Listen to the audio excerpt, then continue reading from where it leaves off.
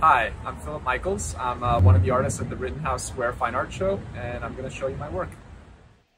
So this uh, painting is titled Happy 30. It's part of my Happy series, and it's uh, got colorful strokes on a white background. And here's a close-up of it.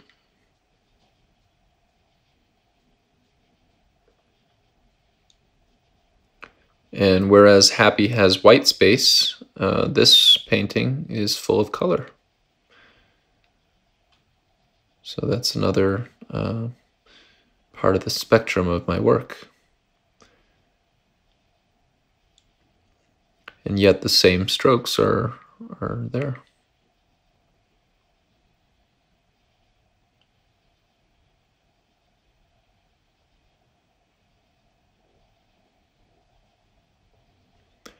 In this piece, uh, you see a little bit more concentration towards the center of the painting.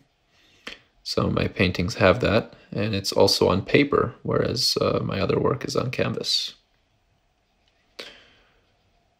So in this piece, I chose to focus on some more of the greens and blues with just a couple colorful accent marks.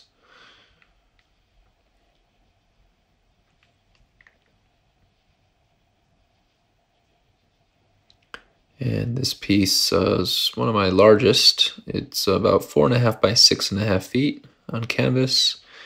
And uh, as you see, the strokes are still there. And uh, thank you for watching.